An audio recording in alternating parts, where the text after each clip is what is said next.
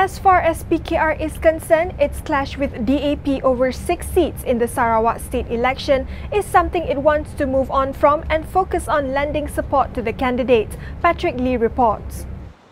The issue started when five PKR candidates were fielded in seats that the DAP was standing in. The DAP also put one of its own in a seat meant for PKR. Both are not backing down from their actions.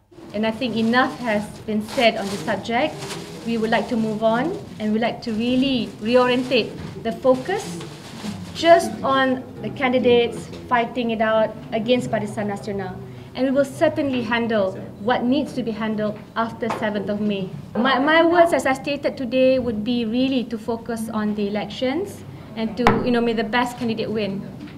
When asked later if moving on meant going ahead with multi-cornered seats, Nurul said, I think for now the campaign has been going on full swing.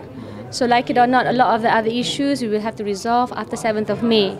This was also mentioned by many leaders before me. She was also confident that Pakatan Harapan would stay united despite this clash and that all would be addressed after the elections. Despite a call to move on, it seems that neither DAP or the PKR are giving up claims to each of the six seats. It is not known what kind of an effect this will have on Pakatan Harapan as a whole. However, come 7 May, it is likely that the votes for the opposition will be divided in Sarawak. I'm Patrick Lee, reporting for the Star TV.